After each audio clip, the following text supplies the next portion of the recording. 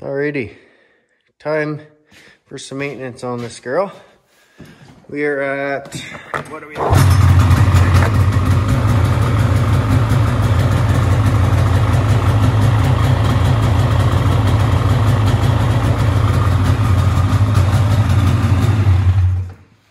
Yeah, so almost 5,000 K on it. And the brake shoes are shut. So I think it's time we dug into it. So yeah, if we get in here, take a close look, you'll see that those brake pads are shot. There's very little left on them and I can't show you the back very well, but it's even more worn down. You may notice that I have a slightly different brake disc on here. That is the lightweight brake disc from ZRP um, that uh, reduces obviously your rotating weight there.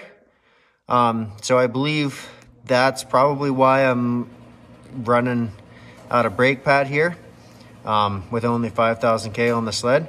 Just, uh, I think all the extra porting and grooves and holes in that disc to, to make it lighter has created that many more uh, wear edges as it passes through the brakes there.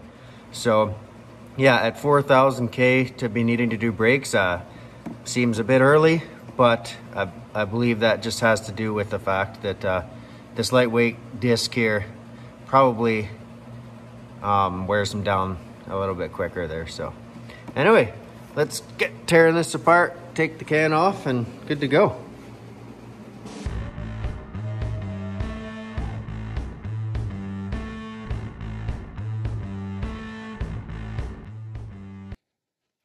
So these are what I'm putting on here. Once I get the old ones out, I'll show you the difference, but yeah, a lot more brake shoe. So yeah, I believe all I gotta do is take that bolt out here and a second one further in there. And that should allow us to take this whole caliper right off of here.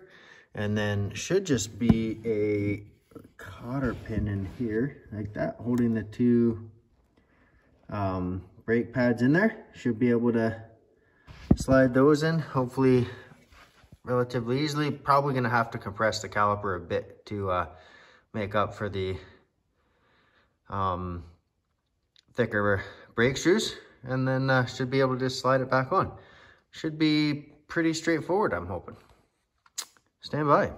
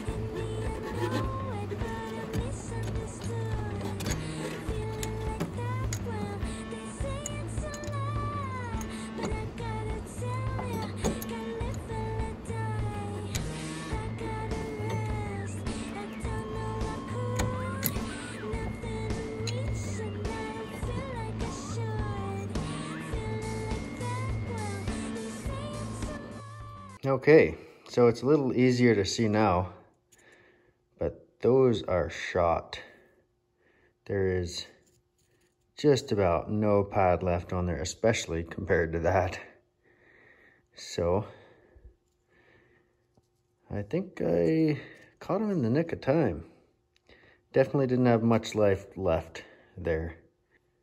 So yeah, now comes the fun part of wedging the the new ones back in here and getting them over the brake rotor here. Uh, could be interesting. Might have to compress the cylinders here a little bit. But uh, we'll get her somehow or other. Let's go.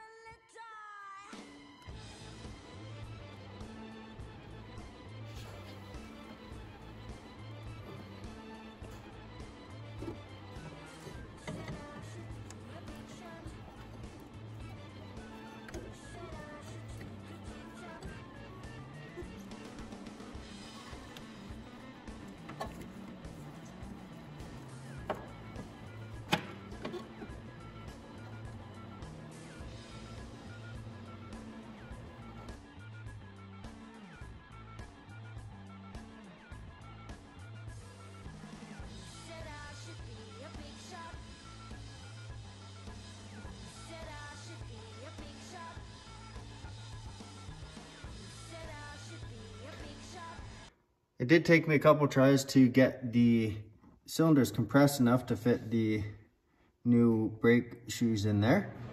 I'm sure you noticed I tried, you know, pliers here. That helped a bit, but in the end, what seemed to work best was just regular old pair of uh, needle nose pliers here, put both pads in, and then just wedge this in and work it back and forth to uh, get it wide enough to fit over that disc there. So, all in all, pretty happy with it. I'm sure there's a better way to do it, but uh, just hanging out in the shop here with limited tools, I'm sure this works. So time to just button the panels back up, throw the can back on, take it for a rip in the yard, check it out.